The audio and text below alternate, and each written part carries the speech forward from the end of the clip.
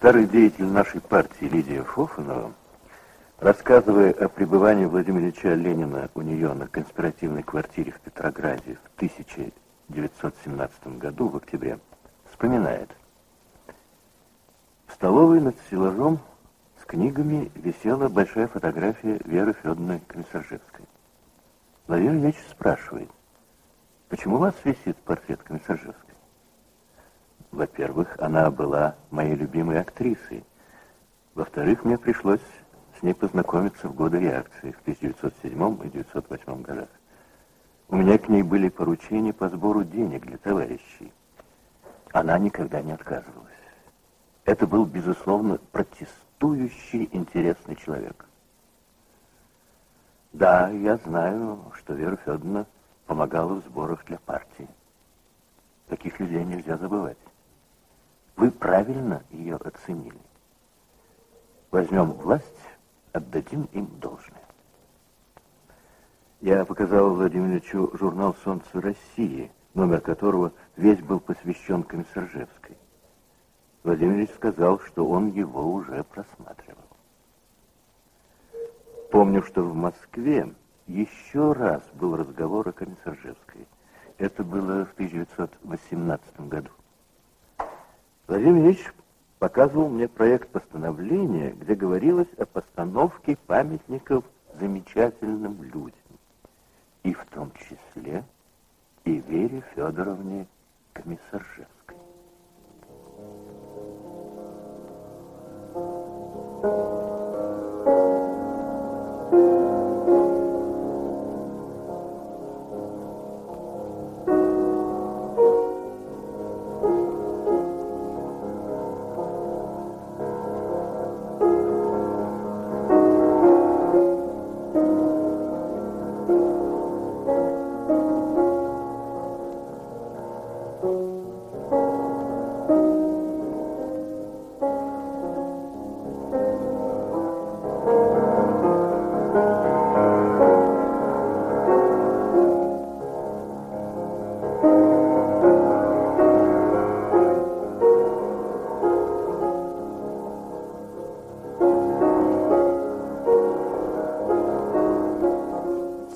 мятеж и вся весна, сказала комиссар Жевская Александр Блок.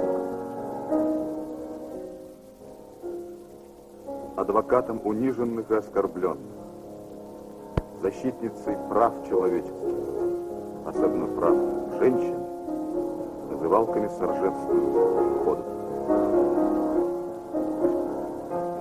Молодежь звала ее солнцем писала Александра Калантай. Дать вам тему из моей жизни. Сделать это, как мне представляется, трудно, почти невозможно. Все счастливое пролетело так быстро и было так просто, что не подыщешь слов, какими бы можно дать об этом представление. А все тяжелое, хоть и оставило след навсегда, но отодвинутое временем уже не кажется таким сложным и единственным, как в то время, когда барахтался в нем и не видел исхода. Мне сейчас вспомнилось откуда-то. Наша жизнь есть вечность и мгновение. Мы ж порой в мгновение проживаем вечность.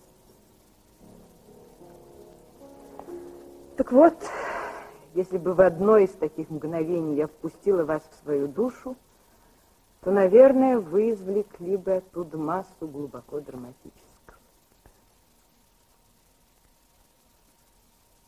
Так писала она своему другу, режиссеру Императорского Александринского театра Евтихию Павловичу Карпову. Рози. Маленькая Рози из пьесы Зудермана «Бой бабочек». Эту роль она выбрала для своего бенефиса на сцене Виленского театра в антрепризе Незлобина. Через год, в 1896 году, она дебютировала в этой роли на сцене Императорского Александринского театра в Петербурге. Через 14 лет в далеком Ташкенте, уже смертельно больная, она играла всю ту же роль.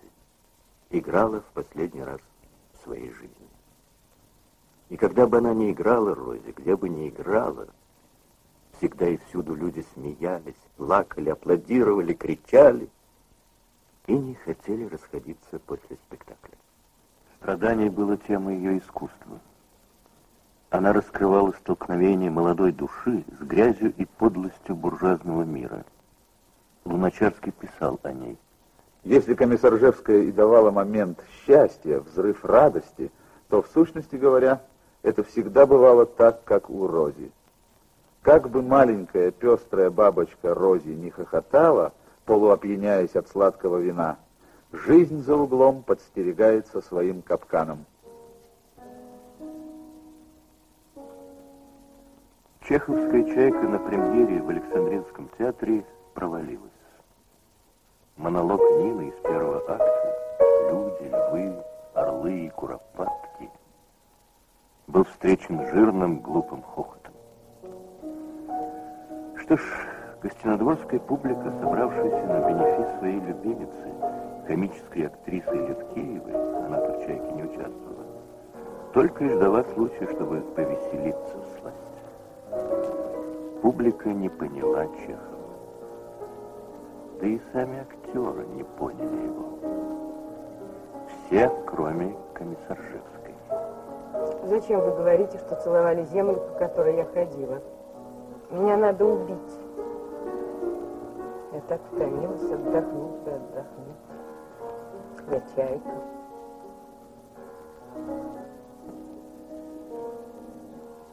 Нет, не то. Я актриса? Ну да.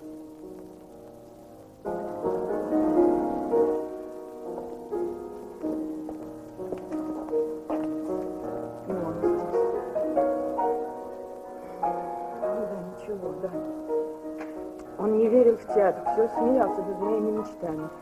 И мало-помалу я тоже перестала верить и пала духом. А тут забота любви, ревность, постоянный страх за маленького. Я стала мелочной, ничтожной, играла бессмысленно.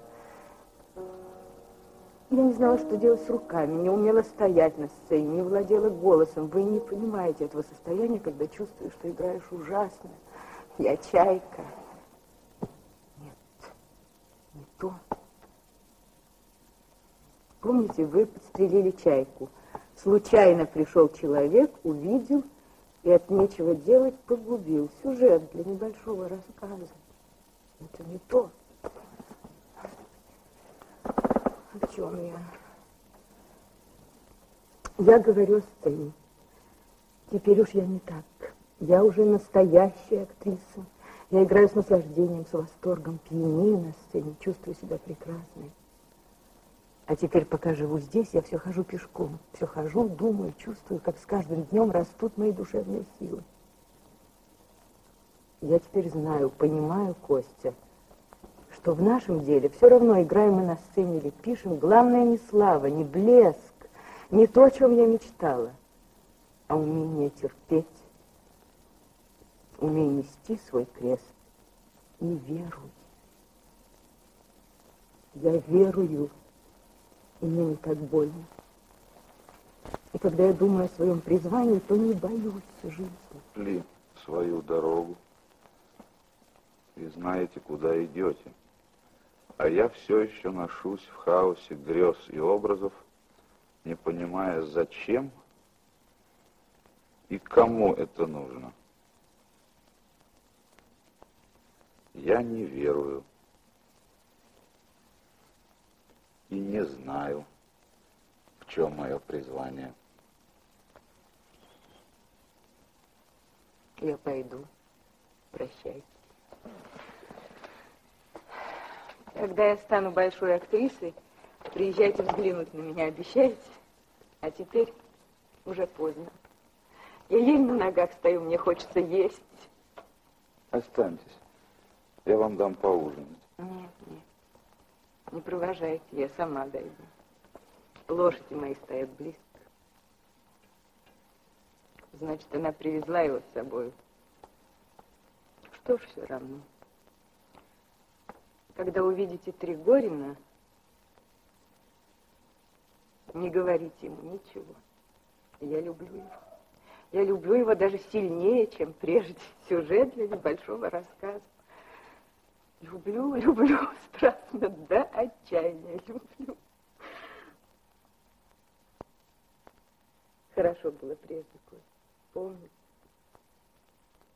Такая ясная, чистая, теплая, радостная жизнь. Такие чувства. Чувства, похожие на нежные, изящные цветы. Помните?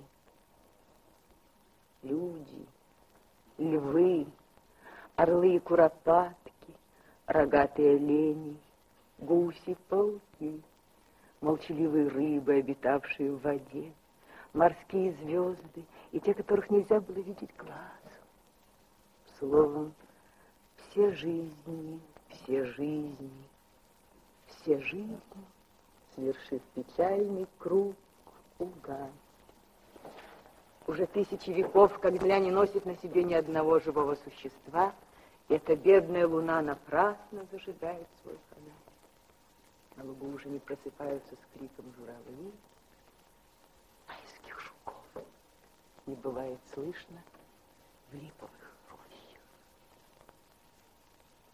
Милый Антон Павлович, ваша, нет, наша чайка, потому что я сросла с ней душой навек, жива, страдает и верует так горячо, что многих уверовать заставит. Думайте же о своем призвании и не бойтесь жизни. До сих пор я, как сейчас, вижу перед собой комиссаржевскую в Нине и никогда не забуду ее в этой роли. Никто так верно, так правдиво и так глубоко не понимал меня, как Вера Федоровна. Чудесная актриса. Насколько было бы лучше, если бы было больше женщин, сильных духом и телом. Но как этого достичь, вот в чем вопрос.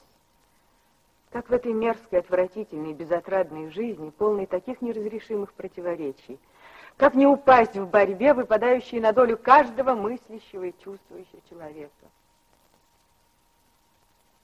По-моему, если возможно найти более или менее нравственное удовлетворение, его должны находить люди, отрешившиеся, насколько возможно, от личной жизни, для чего-нибудь более высокого, несомненно, им очень нелегко. На их долю выпадает масса страданий. Но они, наверное, не упадут от первого толчка судьбы, на который она так щедра. Не опустят руки, встряхнутся и идут опять вперед. Ради далеко-далеко светящегося огонька. Пусть они одни видят этот огонек. Пусть они не дойдут до него, но он им светит, дает силу, веру, с которыми они сделают. Один больше, другой меньше, но сделают хотя что-нибудь. Это письмо написала 24-летняя комиссаржевская. А на сцену она впервые вступила только пять лет спустя. В Парижской галерее изящных искусств есть знаменитая статуя. Она была последним произведением великого художника, который, подобно многим гениальным людям, жил на чердаке, служившем ему мастерской и спальней. Когда статуя была почти совсем готова, ночью сделался в Париже мороз. Скульптор не мог спать от холода и думал о том, что глина не успела еще высохнуть, что вода в ее порах замерзнет, и в один час статуя будет испорчена и разрушится мечта его жизни. Тогда он встал, закутал статую своим одеялом. На следующее утро скульптора нашли мертвую, зато статуя была невредима. Вот как надо любить свое дело. Это письмо, адресованное талантливому, но жадному до суетных успехов артисту, Вера Федоровна написала в свой первый сезон пребывания на сцене. Я до боли ищу всегда, везде, во всем прекрасного – начиная, конечно, с души человеческой, и найдя это прекрасное, увидя эту искру, я не только готова простить все остальное, но себя, всю себя готова отдать без размышлений, чтобы раздуть эту искру в пламя. Но есть одно свойство человеческое, не порок, а прям свойство, исключающее всякую возможность присутствия этой искры. Понимаете? Вполне исключающее. Это пошлость. Она только начинала тогда. Безвестная маленькая актриса, взятая на водевильные роли с пением, пришедшая на провинциальную сцену в том возрасте, когда по всеобщим понятиям и начинать-то было уже слишком поздно. А он знаменитый герой-любовник, кумир публики, красавец Рощин Инсаров. Так она начинала, так прошла она всю свою жизнь. Я по природе своей обязательно должна сочувствовать своей героине, иначе играть не умею. Мне каждую роль надо росить кровью своего сердца. Говорите, потивший муж дома. И пусть его. Что вам нужно от меня? Я пришел только узнать, как у вас обстоят дела. Я все время думал о вас. Ростовщик, крючкотвор, ну, словом, такой человек, как я, тоже не лишен того, что называется сердцем. Так и докажите это, подумайте о моих маленьких детях. А вы с вашим мужем подумали о моих? Ну, да теперь все равно. Я пришел сказать вам, что вам не стоит принимать так близко к сердцу это дело. Я не буду возбуждать против вас судебного преследования. Не правда ли? О, я знала. Что вы, что вы, что вы, сударыня? Что вы, все еще можно покончить миром. Незачем впутывать сюда людей. Это останется между нами троими. У меня в кармане письмо к вашему мужу. И там все сказано? В самых мягких выражениях, насколько возможно. Это письмо не должно дойти до мужа. Разорвите его. Я найду все-таки выход. Добуду денег. Сударыня, вы меня не поняли. Я не возьму денег с вашего мужа. Чего же вам нужно? Я хочу подняться, сударыня. Хочу, чтобы меня снова приняли в банк. Для этого вашему мужу придется создать для меня особую должность. Никогда он этого не сделает. Сделает. Я его знаю. И пикнуть не посмеет. Тогда вы посмотрите, сударыня, не пройдет и года, я буду правой рукой директора. Никогда вы этого не дождетесь. Может быть, вы... У меня хватит духу. Вы меня не испугаете, сударыня. Такая нежная, избалованная дамочка, как вы. Увидите, увидите. Подлет, может быть. В ледяную черную глубину? А весной всплыть обезображенный, неузнаваемый, с вылезшими волосами? Вы меня не запугаете. А вы меня. Таких вещей не делает, сударыня.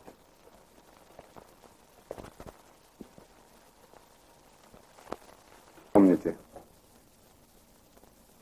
я все равно буду властен над вашим мужем. Он будет у меня в руках. И после того, когда меня уже... Вы забываете, что тогда я буду властен над вашей памятью.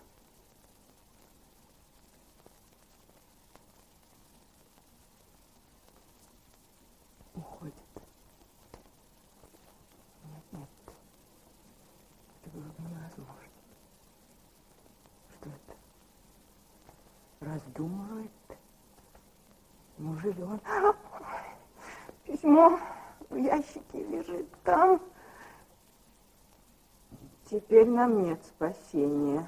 Ну, где же завтрак?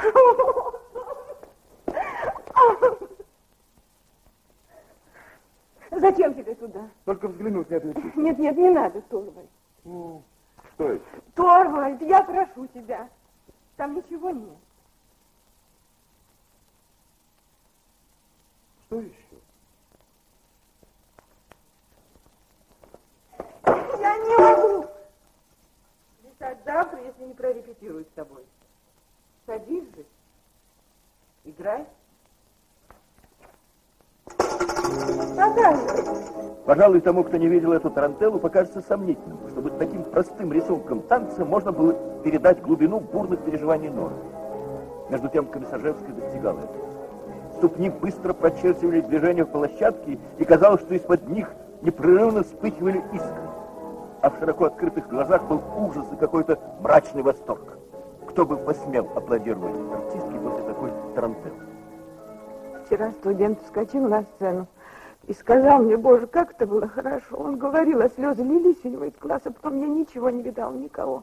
И только думала, за что же это все, за что?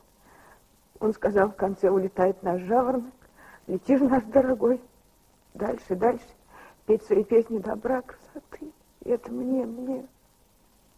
Какой неоплатный долг души. Я ехала домой одна совсем. И я не знаю, что было со мной. Знаю только, что если из таких чувств не вырастет что-нибудь очень большое, значит, я не должна жить. Это ведь не успех делает. И никто в мире не подозревает даже близко, как я холодна там, внутри, к успеху. Нет, это не то. Я первый раз почувствовала все, что есть лучшего в этой толпе, в этих душах. Сейчас трепещет, плачет, радуется, молится. И все это сделала я. И вот тут-то и ужас перед мыслью, нет, не мыслью, а ответственностью души и. Свои письма к Ходотову, актеру Александринского театра, она часто подписывала так «Ваш свет». Вы помните сказку о царе Салтане? Помните, как сын царя Салтана, которого пустили в море в засмоленной бочке, в один прекрасный день встал в бочке, потянулся, вышиб дно и вышел прочь. Мне кажется, в жизни каждого человека бывают такие моменты, когда надо потянуться, встать и выбить дно.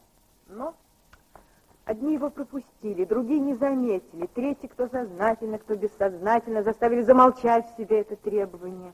А вот по какому-нибудь случаю выпадет минута, когда прислушаешься к себе, и вдруг она совпадет с тем моментом, когда требование это заглушило все голоса, все кругом что-то не то. И это не то не в других, а в тебе. Не так все надо, все иначе надо потянуться, встать. А если дно окажется крепче головы. Но секрет, вероятно, в том, чтобы не бояться. Пока боишься за свою голову, ничего не пробьешь.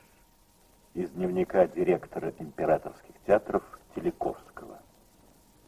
Сегодня я написал письмо комиссаржевской, в котором выразил мое огорчение по поводу ее ухода и просил ее еще подумать и повидать меня до окончательного отъезда все же уход ее довольно странен и мне положительно непонятен.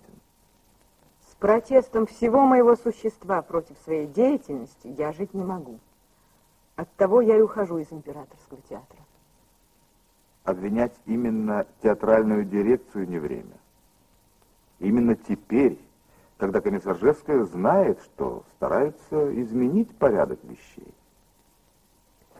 Вы спрашиваете меня о причинах моего ухода и выражаете надежду на то, что, переговорив, мы могли бы устранить влияние этих причин. Причина только одна. Я хочу работать. Оставаться там, где почему бы то ни было мои силы не утилизуются, я не нахожу для себя возможным. Мне кажется, что взятая на себя комиссаржевской роль служить искусству и ему одному, ей не под силу. Комиссаржевская решила делать то, что в Европе делают гастролеры. Но они открыто заявляют, что играют за деньги, и играют то и там, где это выгодно. Лучше бы и Комиссаржевской так говорить, а не обвинять дирекцию. Антон Павлович, здравствуйте. Вы, конечно, забыли, что я есть на свете, а я существую, да еще как. Вы, вероятно, слышали о моей затее открыть в Петербурге театр. Я делаю эту глупость, как называют это мои друзья. Я не могу, не хочу думать о том, как это называется. В моей душе сейчас такой прилив энергии, жажды дать ей что-нибудь кипучее по любимому, что я иду. Иду одна, иду с верой, с той верой, которая, если разобьется, убьет во мне все, с чем только имеет для меня смысл жизни. Почему-то мне вспомнилась одна грустная песенка. Ее, бывало, пели прачки в заведении моей матери. Ты, родная моя матушка, пожалей меня несчастную. Тяжело мне у чужих людей, в злой неволе сердце высохло. Моя мать всю жизнь работала. Какая она добрая была, какая веселая. Ее все любили. Она сделала меня образованной. А вот мне неловко жить. Мне кажется, что я зашла в чужую сторону, к чужим людям, и не понимаю их жизни. Не понимаю я этой нашей жизни. Она мне кажется непрочной, неустойчивой поспешно сделанный на время, как делаются на ярмарках балаганы. Эта жизнь точно лед над живыми волнами реки. Он блестит, но в нем много грязи. Когда я читаю честные смелые книги, мне кажется, восходит горячее солнце правды. Лед тает, обнажая грязь внутри себя, и волны реки скоро сломают его, раздробят, унесут куда-то. Мне кажется, всю жизнь я любил вас. Еще не видя, не зная, любил. Вы были женщиной моей мечты, тем дивным образом, который создается еще в юности, потом его ищут, иногда всю жизнь не находят. А я вот встретил вас, мечту мою. Павел Сергеевич, не надо об этом. Я не люблю вас, нет. Позвольте мне сказать. Зачем? Ну, это кончено. Как-то все просто. А я так долго хотел сказать вам об этом. Я с волнением думал о том часе, когда я скажу вам, что люблю вас, и вот сказал. Ну, Павел Сергеевич, что же я могу сделать? Да-да, конечно, я понимаю. Вы знаете, на вас, на ваши отношения ко мне я возложил все мои надежды. И вот их нет – и нет жизни для меня. Теет и давит меня одно неисполненное обещание. В юности моей я дал клятву себе и другим. Я поклялся, что всю свою жизнь посвящу борьбе за то, что мне тогда казалось хорошим, честным. И вот я прожил лучшие мои годы. И ничего не сделал.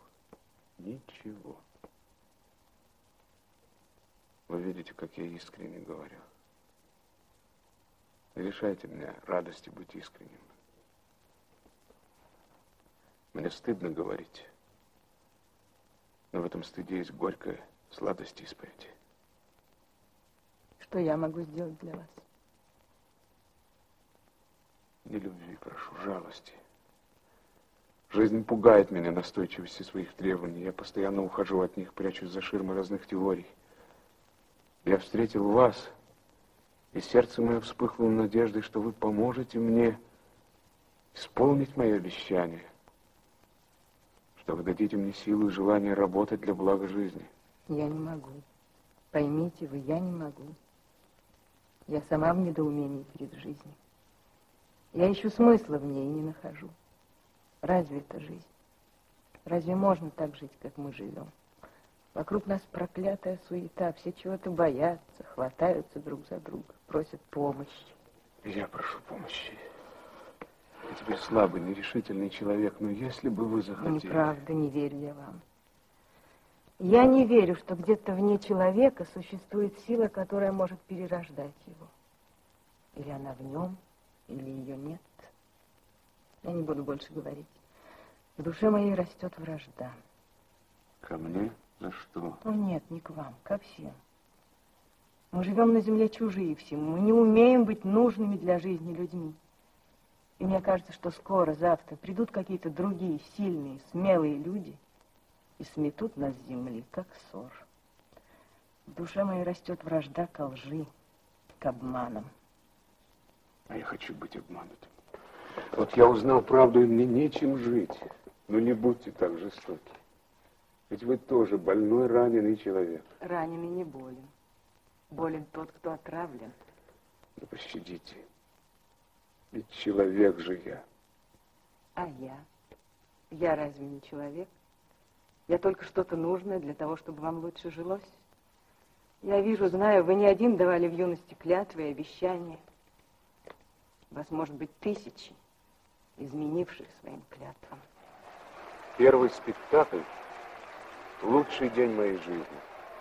Никогда я не испытывал, едва ли испытаю когда-нибудь в такой мере и с такой глубиною свою силу, свое значение в жизни, как в тот момент, когда после третьего акта стоял у самой рампы, весь охваченный буйной радостью, не наклоняя головы перед публикой, готовый на все безумия, если только кто-нибудь шикнул мне. Безумству храбрых поем мы песни. Безумству храбрых поем мы славу. Безумство храбрых. Вот мудрость жизни. О, смелый сокол, в бою с врагами истек ты кровью, но будет время, и капли крови твоей горячей, как искры, вспыхнут во мраке жизни. И много смелых сердец зажгут безумной жаждой свободы, света, безумству храбрых. Поем мы песни. В 1905 году Комиссаржевская была увлечена политикой. Выступала с речами на митингах и таким волнующим голосом выкликала «Долой самодержавие», что слушатели хоть сейчас на баррикады. Это из воспоминаний Александра Николаевича Тихонова, псевдоним его А. Серебров, друга и помощника Горького по издательским делам. Когда я вошел в гостиную, Комиссаржевская задумчиво перебирала клавиши рояля. В руках у меня было привезенное из Москвы письмо к ней от Леонида Борисовича Красина, члена ЦК большевиков, у которого состоял под началом по части подпольной техники и сбора денег для партии. Вы давно видели этого деспота? Что он все такое же воскресенье? Она, как и Наташа Ростова, любила неожиданные сравнения. Мережковский скучен, как понедельник. Горький нечетный и ни на что не делится. Белому она сказала, вы синий и невнимательный. Просит устроить благотворительный концерт в пользу партии. Рекомендует вас в помощнице. Он вам ничего не рассказывал про наш концерт в Баку? Леонид Борисович был там инженером, а я гастролировала. Пришел ко мне. Никогда его прежде не видела. С первого слова «вы революционерка» я растерялась, ничего не могла ответить, только головой кивнула. В таком случае сделайте вот что. И таким тоном, словно я ему подчиненная. В Баку меня любят, начальник жандарма мой поклонник. У него в квартире мы устроили концерт, закрытый только для богатых. Я пела, читала, даже танцевала тарантеллу. Успех полный. В антракте мне поднесли букет из 100 рублевок. Леонид Борисович красивый, во фраке, понюхал букет. Смеется, хорошо пахнет. И мне на ухо типографской краской пахнет. Дело-то в том, что сбор с концерта шел на подпольную типографию. Мы подошли к самым трудным страницам жизни Комиссаржевской. Ее театр в Пассаже не пережил поражение революции 1905 года. Тот театр, который открывается 10 ноября 1906 года в новом здании на Офицерской с новой труппой, во главе которой стал молодой режиссер Всеволод Емельевич Мирхольд, этот театр был уже совсем другим театром. Но ведь и время было уже другое. Сложное, тяжелое время реакции. Мгновение счастливого содружества Комиссаржевской с Мерхольдом. Сестра Беатрисы из пьесы Метерлинка. Блеклые, золотисто-голубые тона декораций художника Судейкина, словно старинные выцветшие гобелены, под фрески Джотто и полотна Боттичелли, и серо-голубые фигуры монахинь, застывшие как скульптуры. И лишь одна Беатриса Комиссаржевская была живая среди этих застывших фигур. Давно-давно, 20 лет, сестра Беатриса бежала из монастырских стен вместе с любимым.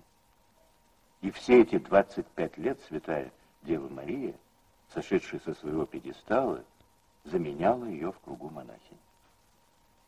Сегодня старая больная Беатриса вернулась в монастырь. О, Матерь, вот я здесь.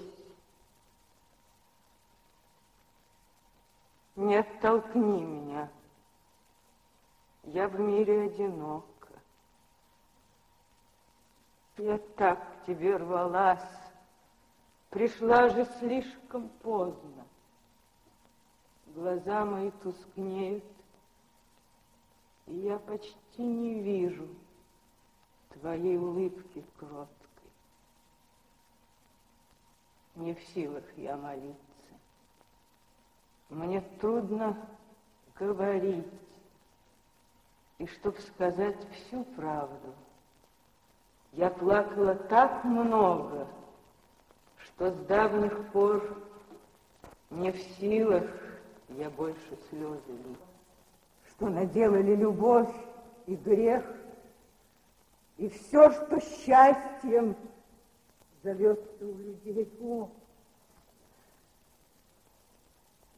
если Бог не хочет, чтобы человек был счастлив, меня зато простит он, что счастья я не знала.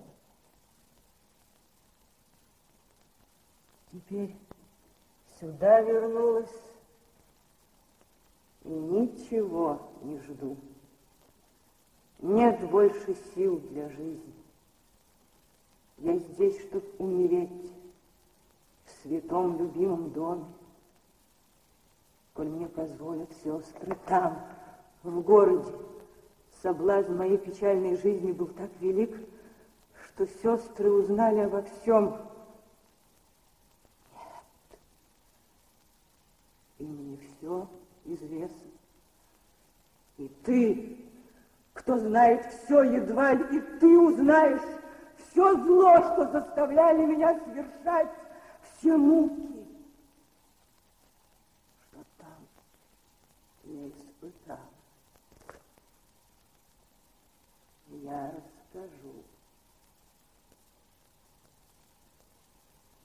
Я расскажу им всем о горестях любви, о горестях любви. Душа ее была, как нежнейшая скрипка — она не жаловалась и не умоляла, но плакала и требовала, потому что она жила в то время, когда нельзя не плакать и не требовать. Живи она среди иных людей, в иное время, и не на мертвом полюсе, она была бы, может быть, вихрем веселья, она заразила бы нас торжественным смехом, как заразила теперь торжественными слезами. Александр Блок из речи, посвященной памяти Комиссаржевской. Во вселенной страшной и огромной ты была, как листик в водопаде, и блуждала странницей бездомной с изумлением горестным во взгляде. Ты дышать могла одной любовью, но любовь таила скорбь и муку. О, как быстро обогряешь кровью с нежностью протянутые руки. Ты от всех ждала участия, жадно, все обиды, как дитя, прощала, но в тебя вонзились беспощадно острые бесчисленные жала. И теперь ты брошена на камни, как цветок, измолотый потоком. Бедная былинка, ты близка мне, мимо увлекаемому роком. Валерий Брюсов, сентябрь-октябрь 1907 года. Она звала Брюсова строить вместе с ней новый театр. Но у поэта была своя дорога. Они встретились и разошлись. А в ней еще жило веселье. Уже зрело решение оставить театр навсегда – а она играла во время своих последних гастролей лукавую солнечную мирандолину. Сеньор. Что вам, мирандолина? Прости. М? Идите сюда. Вы требовали счет. Я приготовила. Давайте, да? Вот он.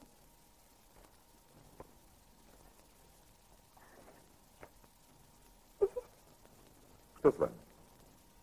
Вы плачете? Нет, пустяки, это от дыма. попал в глаза.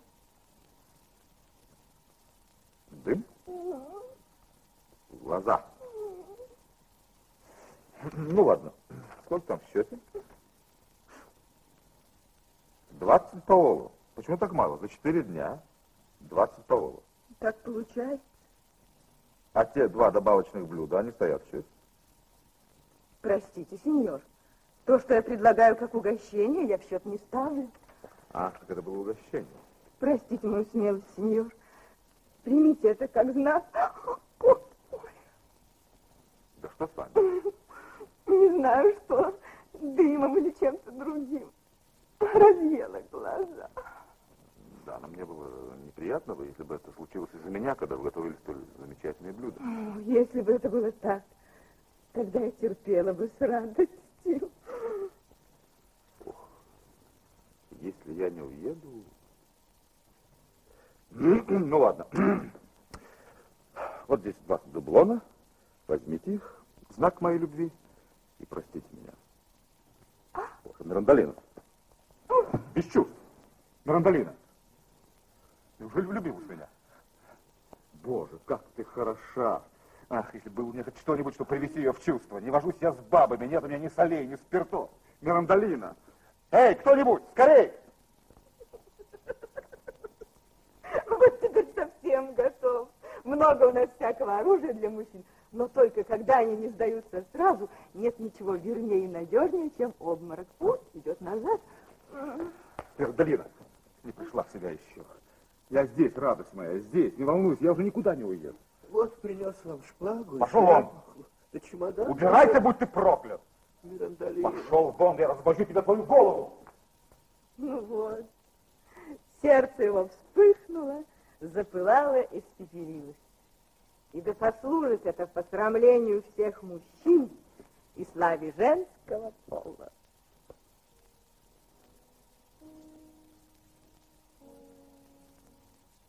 труппе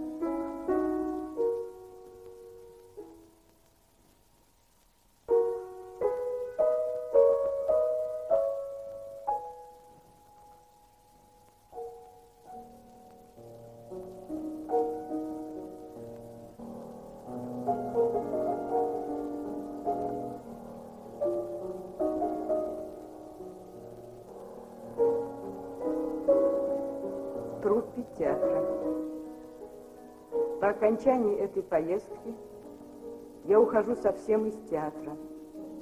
Надолго ли, навсегда ли, зависеть это будет не от меня. Я ухожу потому, что театр в той форме, в какой он существует сейчас, перестал мне казаться нужным. И путь, которым я шла в исканиях новых форм, перестал мне казаться верным. Тем из вас, кому дорог во мне художник, я хочу сказать еще, что художник этот уходит из театра с душой полной веры в будущее, в новые возможности. С душой полной и больше, чем когда-либо ясной твердой веры в неиссякаемость, достижимость истины прекрасной.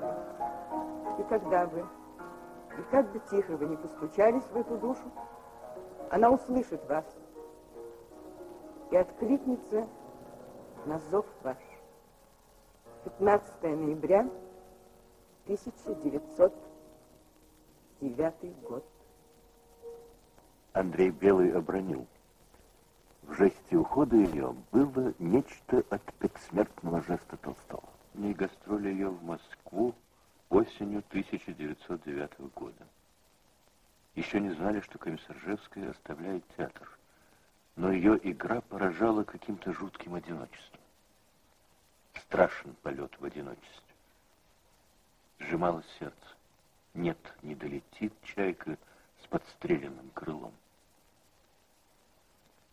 Семи лет всего Комиссаржевская не дожила до революции. Чайка не долетела до нового берега но ее полет, ее устремления были к этому берегу. Она пала мертвой на лету, на пути к нам. Из воспоминаний театрального критика Сергея Дурылина. Во Вселенной, вечным и неизменным, Остается один лишь дух — чайка. Самарканд, 16 января 1910 год. Это была последняя в ее жизни телеграмма. Она отправила ее студенческому кружку имени Чехова по случаю 50-летия со дня рождения писателя. Через 10 дней, уже больная оспой, она играла свой последний в жизни спектакль «Бой бабочек». Через две недели ее не стало. Ее похороны, собравшие тысячи народа, были воистину гражданскими похоронами. Бесконечная цепь из рук студентов, рабочих, курсистов, вообще из публики окружала гроб. Лента колесниц с венками из разных городов следовала за ним. Вечную память пели тысячи голосов по пути к Невской лавре, кладбищу, которое так любила Вера Федоровна. Из воспоминаний Николая Ходотова. Комиссаржевская словно резанула по живому телу публики своей болью. Страшная близость жизни.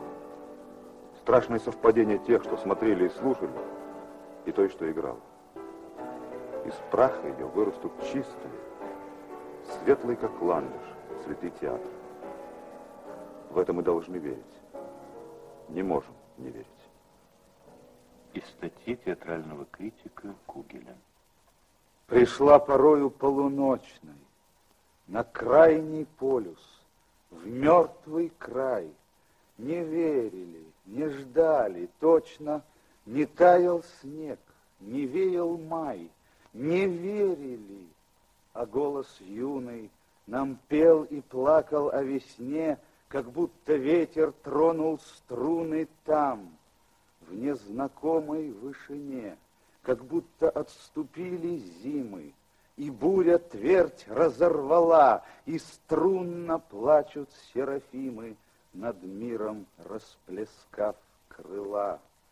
Но было тихо в нашем склепе, и полюс в хладном серебре ушла от всех великолепий, вот только крылья на заре. Что в ней рыдала, что боролась, чего она ждала от нас, не знаем. Умер вершний голос, погасли звезды синих глаз. Да, слепы люди, низкие тучи, и нам ли ведать торжества? Залег здесь камень бел горючий, растет у ног плакун трава. Так спи, измученная, славой, любовью, жизнью, клеветой. Теперь ты с нею, с величавой, с несбыточной твоей мечтой. А мы, что мы на этой тризне, что можем знать, чему помочь? Пускай хоть смерть понятней жизни, хоть погребальный факел в ночь, пускай хоть в небе вера с нами.